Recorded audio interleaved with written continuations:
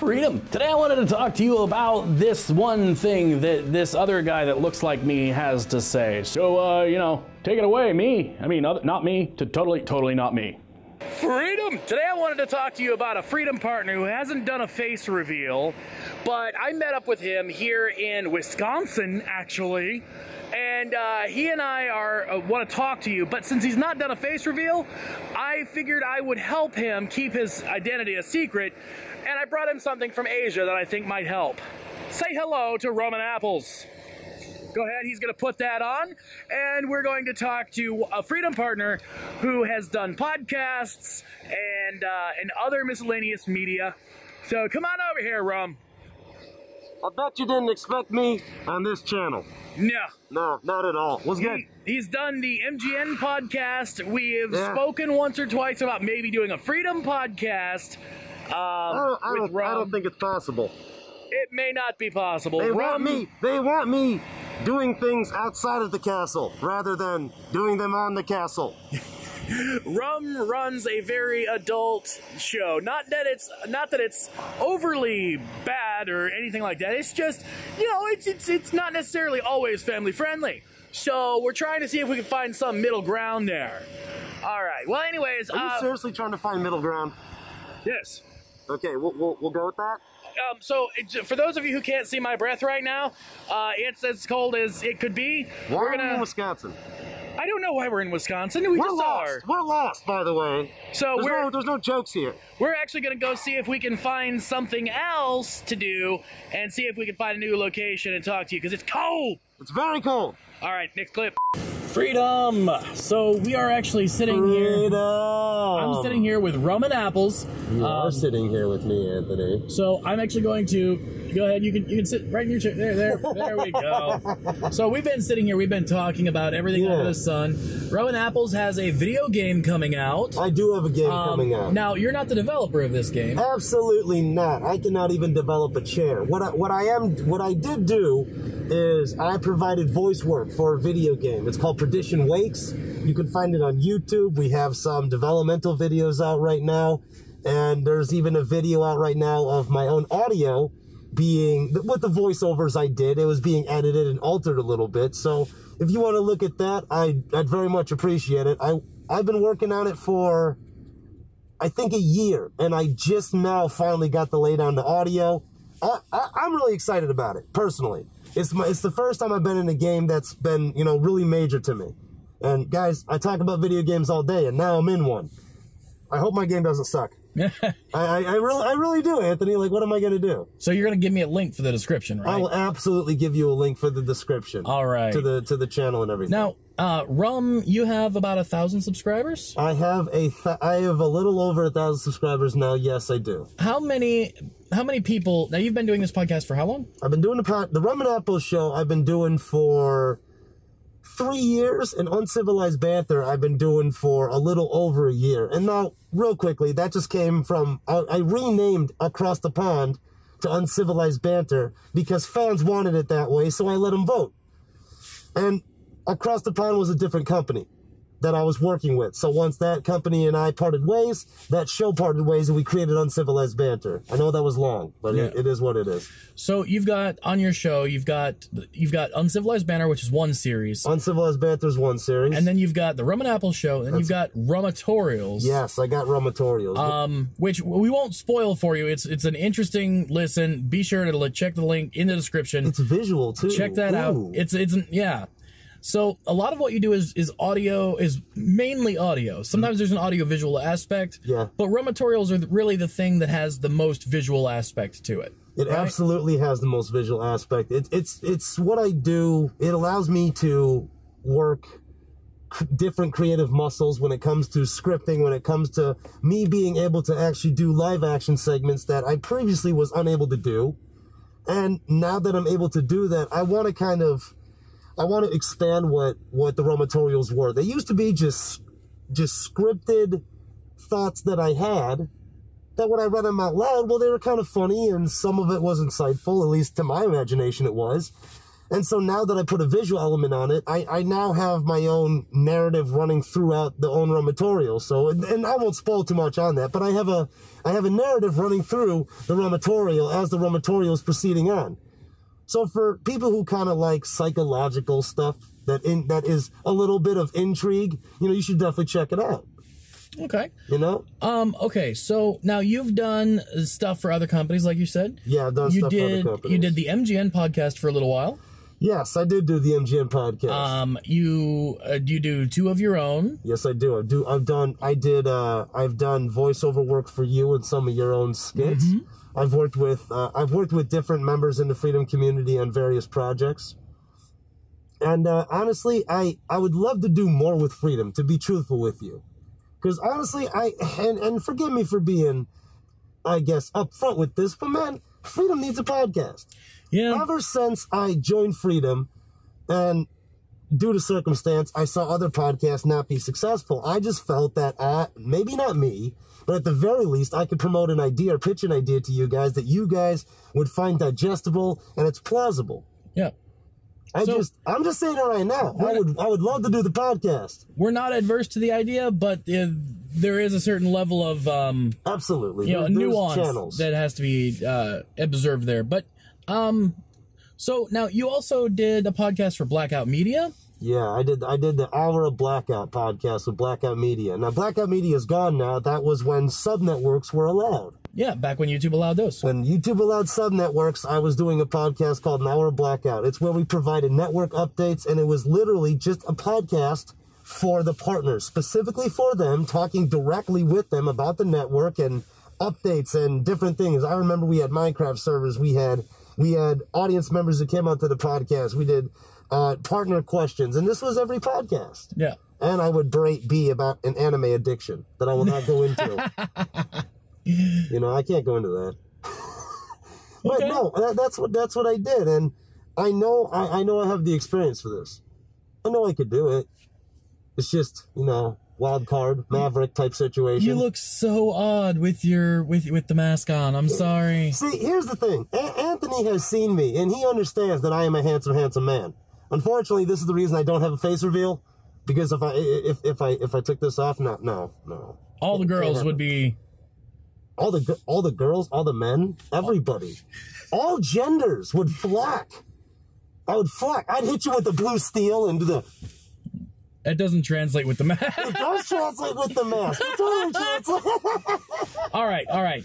So, um, keeping this back on track now. Sure. You um, you do a podcast. You syndicate that to iTunes. I syndicate the Rum and Apple Show and Uncivilized Banter onto iTunes. Yes. So now, you said that you have that set up through your WordPress website to automatically feed content to iTunes, right? Yes, it is. It is available in that direct method. Hmm, Okay. Mysterious how you knew that pivotal information, sir. Now, uh, the reason I bring that up is because a lot of people, you know, may have the impression that that's a complicated task, that it's hard to do. Um, would you say that it's e- equally as easy for somebody who does like YouTube commentaries to just submit the audio? Well, Like just the audio portion? Because that is essentially kind of like a podcast, right? Like if they're doing sort like of. commentaries with gameplay? it is comparable to a podcast. However, I think there's a different element. Um, podcast. Well, okay. I'm not. I'm definitely not the guy to determine what a podcast actually is. A podcast, by definition, is audio format, right? And you listen to it, and it's usually an hour or or whatever, however the length is. But if you want to do that, it's easily accomplishable. I mean, the method I use is through WordPress. Okay.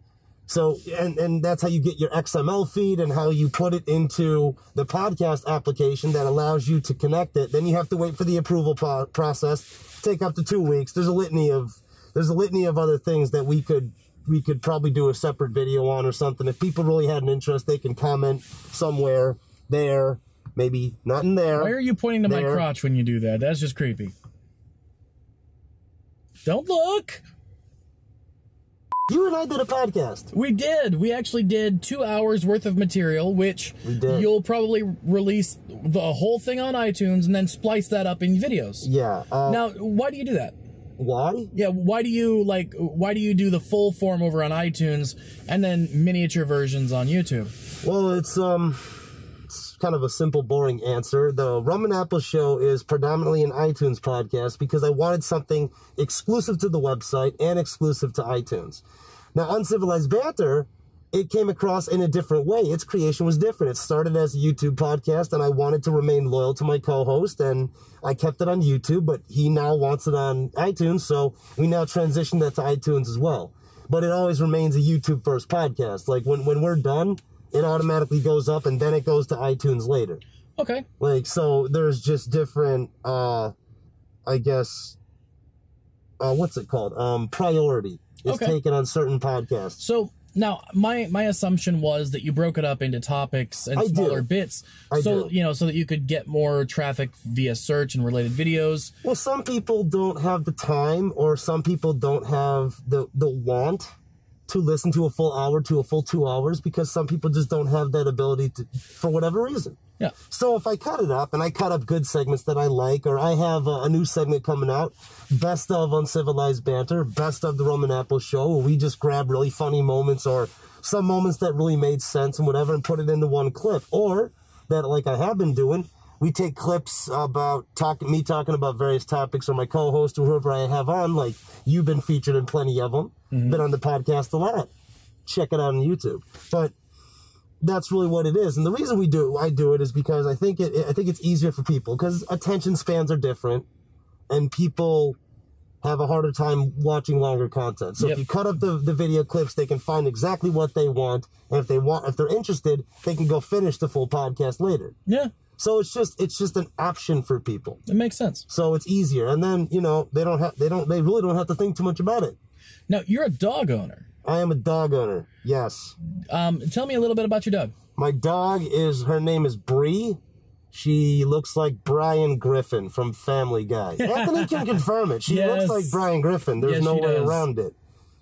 I'm unaware of what her exact breed is. What I was told is she is a boxer pit mix, but I think she's a runt because she's really tiny, but she's 40 pounds. She's cute. She's she's a little cutie. she's a oh yeah but she she is she is a a handful from time to time if i say it politely no i love my dog I, I i love my dog i've always owned dogs i think it's um i think i think animals have a drastic effect on people. In a very positive way. But yeah no i have a dog definitely. Yeah. Uh, let's see. What what else. Uh, oh, uh, so we were talking earlier about Spreadshirt.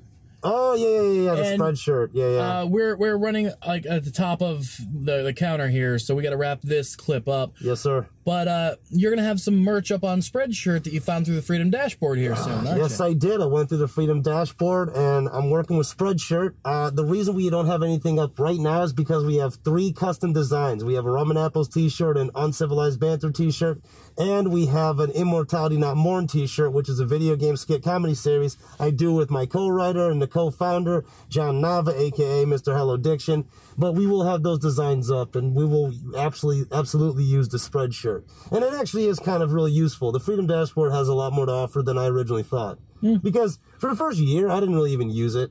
And then, like, through a little bit of prodding through partners, they're kind of like, hey, this is Spreadshirt. And I go, oh, pray tell, what is a sh- shirt spread? They go, "N- n- no, rum, rum, spread shirt. It's like when people told me told me about Vine, and I said, I said, what's a Vine? What do you, what are you climbing things now? You weirdos, what's going on here? Just, oh man. But no, Spreadshirt's dope. I like it. All right, so we're gonna go ahead and let you go, and, uh, and we'll see you in the next clip.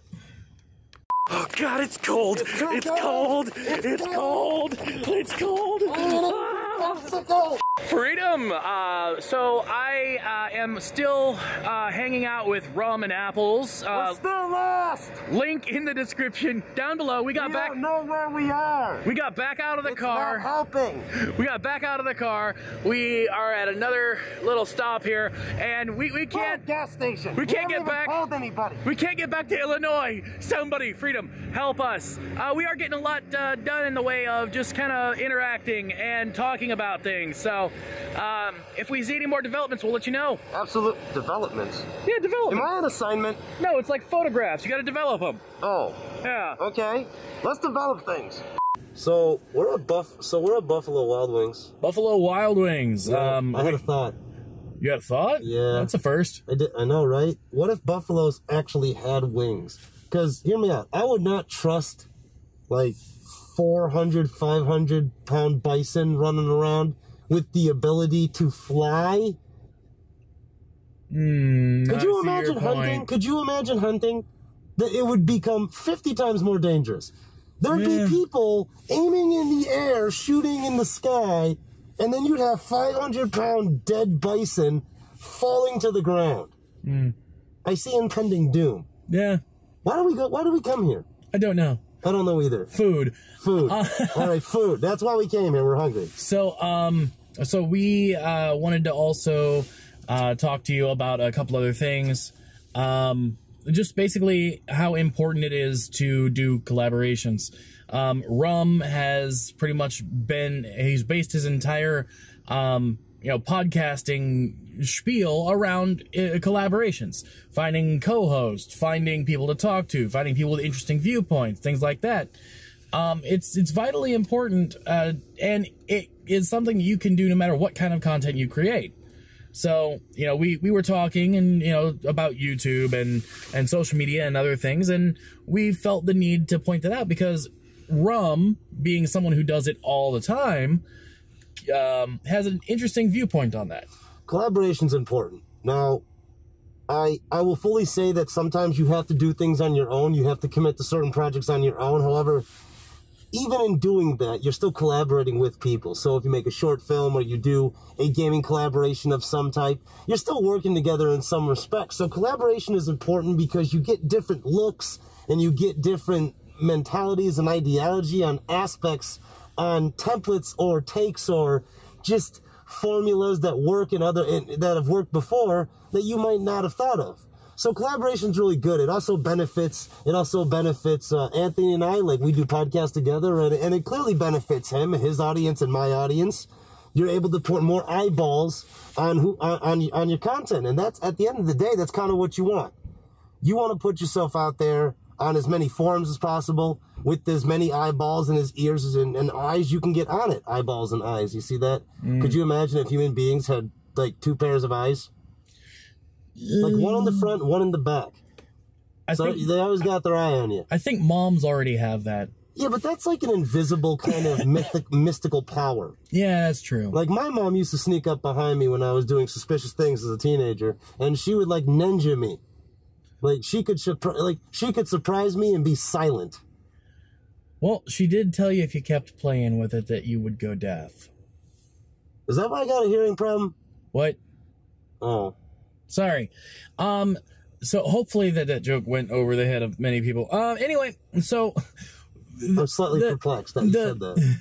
the um the overarching concept that we want to talk about Collaboration is important. it, it is and it's for the most part it's super simple it's super easy once you get it figured out when you once you get figured out what kind of people you can easily work with which is Chemistry I think is important. chemistry It's is very one of the important. biggest ones. You know, if you force collaborations, if you force working together with people, you're going to hate it and it's going to show through. So work with, you know, find people in the community, Freedom Forums, uh, Freedom Discord. But that's probably one of the easiest places. Seriously, the Freedom Forums, it's when I first started, personal story about using the Freedom Forums for real.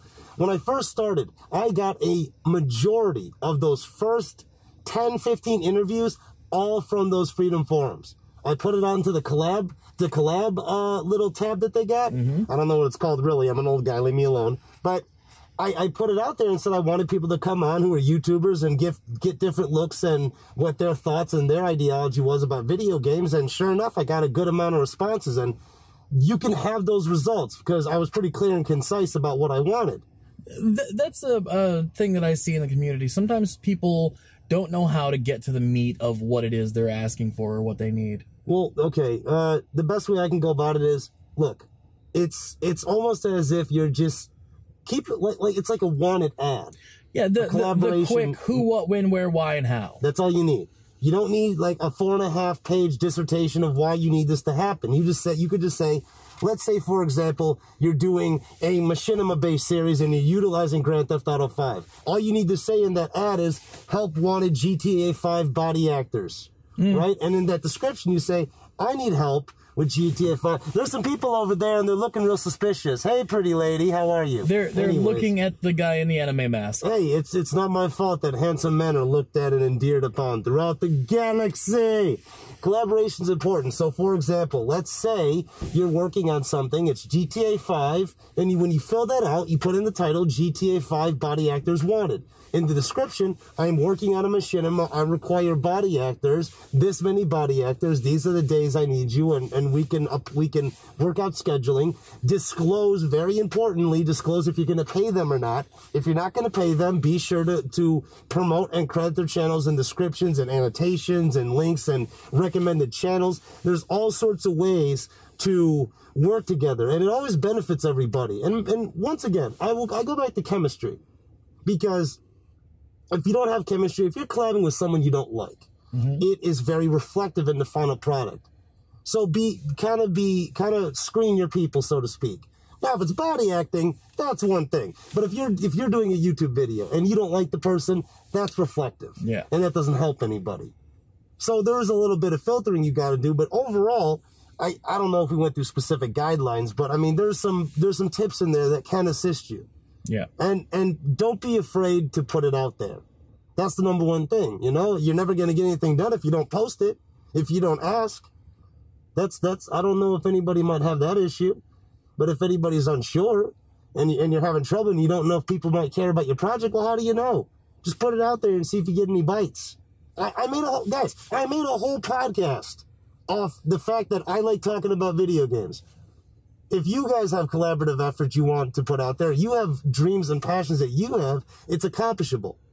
You just have to be willing to have the dedication to understand that this could be a longer process that you once anticipated. But to expedite it a little bit, collaborations and over time, you can build your own network. You can build your own network of within your friends. That's what I've done essentially. Anthony's my friend. I work. He comes on the podcast. We have a good time. I've worked with the numerous amounts of other people like Roshu Gaming. I've worked with uh, my boy Jacob. You know, people know Cobra TV. There's You a lot of worked, people. you worked with a couple of people over there at TubeBuddy? Yeah, I worked with Andrew Can from TubeBuddy. Actually, Andrew Can from TubeBuddy. Shout out to our boy. I, he was just on a podcast on Uncivilized Banter not too long ago. He was there taking listener calls, having a good old time.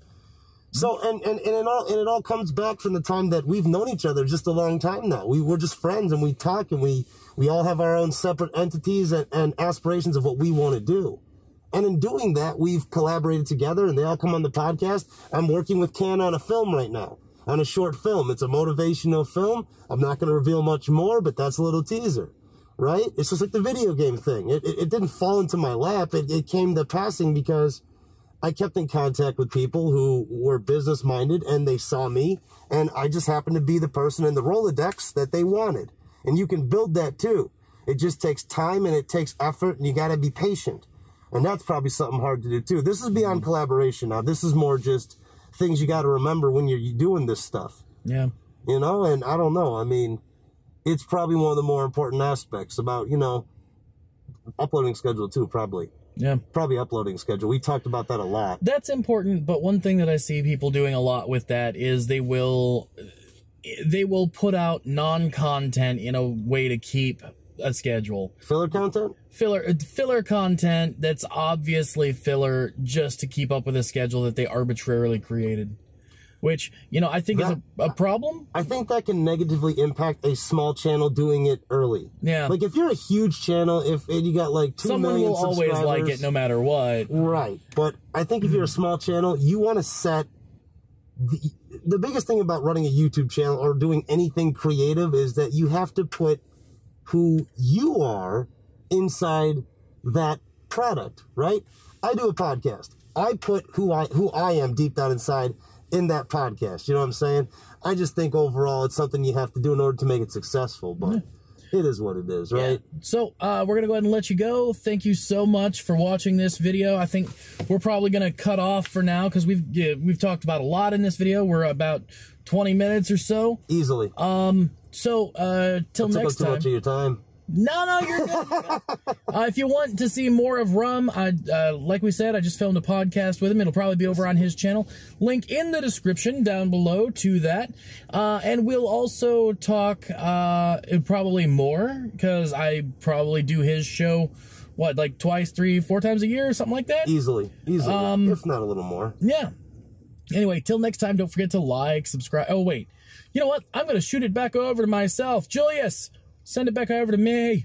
Till next time, don't forget to like, subscribe, and do all those things that make us love our jobs. Also, be awesome to yourself and amazing to each other. Bye, Freedom Family.